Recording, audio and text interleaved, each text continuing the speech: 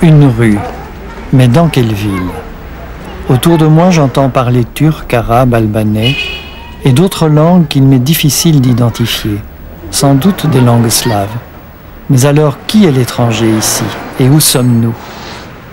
À Bruxelles, sans aucun doute.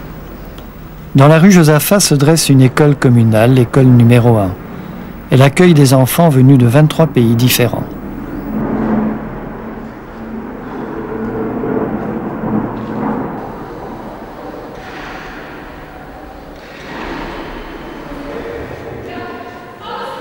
Tu vas voir, tu vas voir beaucoup de copains, tous ceux qui viennent ici. Hein.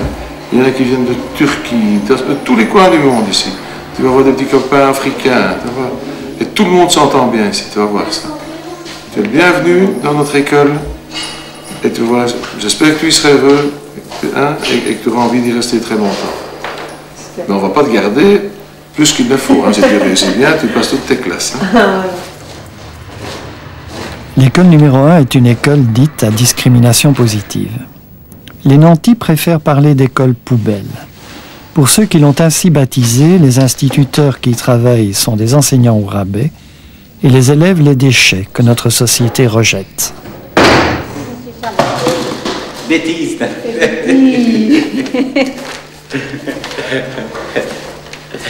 Salope, Oui pas encore un vrai acteur. Non, pas encore.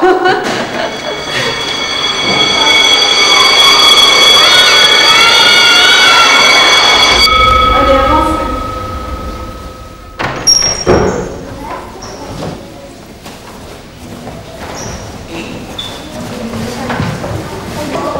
Ça, on va bouger. Quand ma fille a choisi cette école pour mes petits-enfants, son choix n'a pas fait l'unanimité autour d'elle.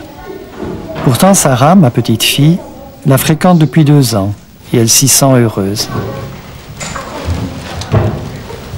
Bien. Voilà le grand jour de la rentrée. Alors, je vais commencer par faire quelque chose qui est très comique pour vous, mais qui est très difficile pour moi. D'accord Pour être sûr en classe, je ne vous connais pas encore, je vais simplement dire une prénom. Ça va Vous me dites oui. Je suis certaine que vous êtes là. Évidemment, vous venez de tas de pays différents et je sais peut-être pas très bien dire votre nom comme il doit être dit. Mais ça, vous me direz après, ça va? Nafier, Ceylan, Enver, et toi tu t'appelles? J'ai pas le papa français. Comment tu t'appelles? Pas grave, on va y arriver. Ça va On attend. Mais elle était pas là, elle est nouvelle. Oui, mais alors les nouvelles, on va savoir comment elle s'appelle, on va pas l'appeler.